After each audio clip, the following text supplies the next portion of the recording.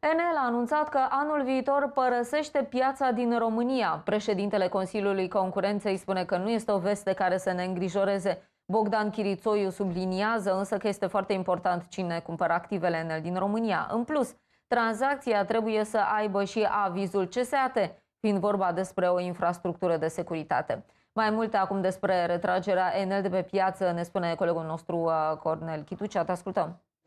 Bun găsit, uh, compania Enel și-a anunțat intenția de a părăsi țara noastră începând cu anul viitor și ar urma să funcționeze în doar șase țări.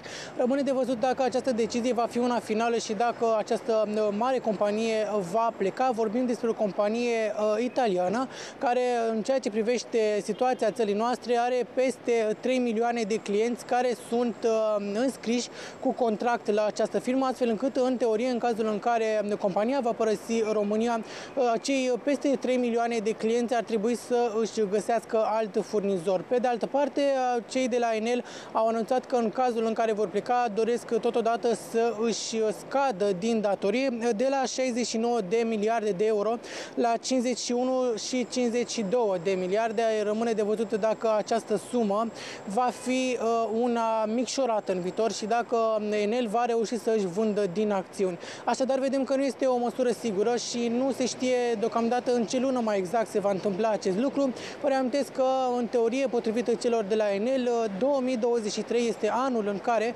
ar părăsi țara noastră. Contează cine vrea să cumpere.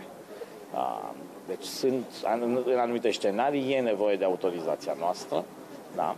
Pe de altă parte, NL nu e la prima încercare, vă ce aminte, acum câțiva ani a mai fost o discuție că ar vrea să vândă active în România, bun, după aceea au, s-au răzgândit, au decis că e mai bine să, să rămână, deci vom vedea că va fi decizia lor finală.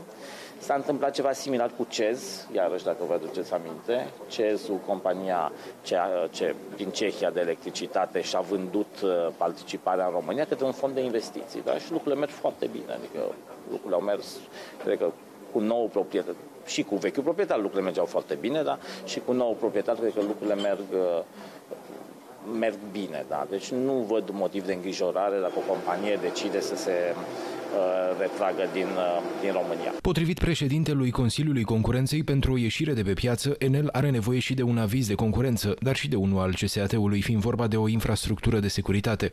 În funcție de deci cumpărătorul selectat va trebui, poate să fie o autorizație de concurență, dacă e de, vorba de cineva care e deja prezent în România, dacă, dacă vorba de o companie care nu e prezentă în România, cum a fost în cazul Cehilor, atunci nici nu se pune problemă de, uh, de aprobare a concurenței.